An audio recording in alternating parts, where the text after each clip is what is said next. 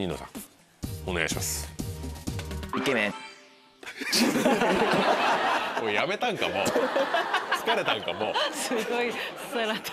そりゃそうだよ。入ってるよそりゃ。もういろんなお店がもう全部、もうここには物を下ろせなくなってくるから。本当だよ。だからこれ開けさせて。はいわかりました。もう1位ですね。イケメンは一位入ってるんでしょうか。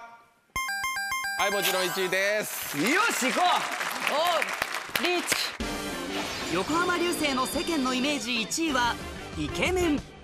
イケメンです。国民的彼氏ってイメージがあります、まあ、まず身長高いし顔も構造が素晴らしいっていうかまつげがすごいクリーンってしてて目が綺麗なイメージです。顔面国宝です。顔面国宝にキラキラしたイケメンですねやっぱり。中性的な笑顔とかが素敵だなと思います、慣れたら生まれ変わりたいぐらいかっこいいです。ありがとうございますさあ流星さん街の声聞いていかがですか？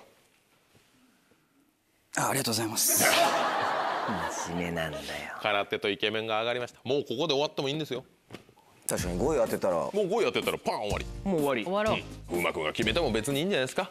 いいですか？決めてください本当に。ちょっとねさっきピントがずれてたかなと思います。僕の回答は。はそうだと思います。いちょっとここは決めに行きたいと思います平野と物件の話をしている。平野と物件の話をしている絡みあるかな。ちょっと厳しくないか。平野と物件の話をしているの事実ですか？ああしてましたよ。事実だ。はい。怒ってます？そ うしましたし仲もいいです仲もいいし、だい。たい平野ががないんですよ。大久保さん。やっぱりね唇？女性ってやっぱ見ちゃうんですよねその唇のこの色といいね感触といい。感触って？パスですか？パスでよろしい？パスじゃないです。ごめんなさい。ごめんなさい。ですなんで照れてるんですか？